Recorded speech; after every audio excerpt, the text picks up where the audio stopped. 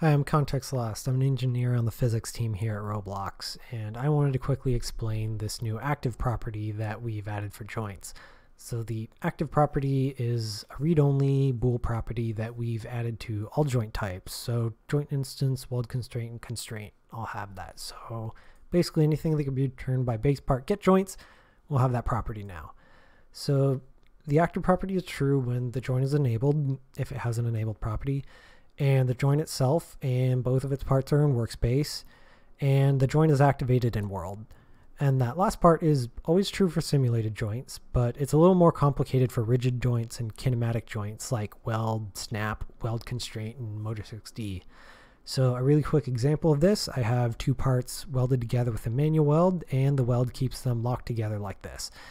If I have this other weld that I can put in a workspace that puts these parts in a slightly different configuration like this.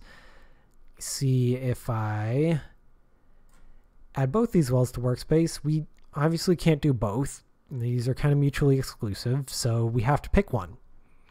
Um, and right now we break the tie based on the internal replicated GUID of the joint.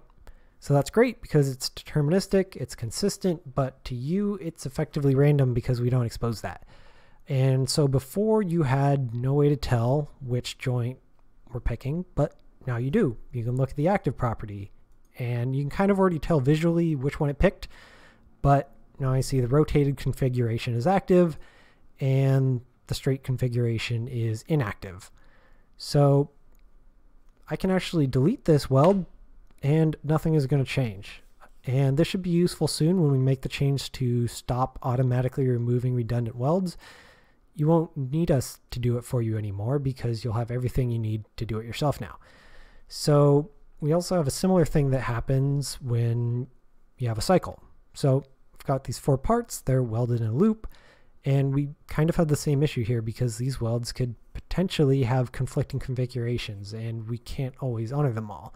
So I've already enabled the debug visualization for the spanning tree, which is the system that picks roots and decides which welds we keep and which we ignore at any given time. So you can see here that there is no link between part one and part two here.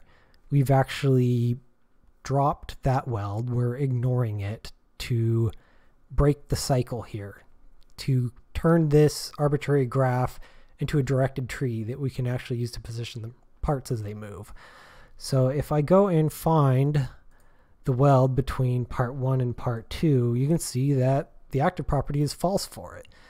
Um, and if this in this game I'm not supporting this model being like arbitrarily broken up, I can just delete this weld and nothing's going to change. It's not contributing anything. Of course, uh, if you are supporting arbitrarily breaking this model up, you probably don't want to delete that because it's like if I delete this part, you see now the link between those two parts has reappeared and the active property is true for both the joints that are left. So you can use this to help you prune redundant welds in your models if your game is not trying to support arbitrary destruction. And that's it for now, but we'll have more cool things coming soon.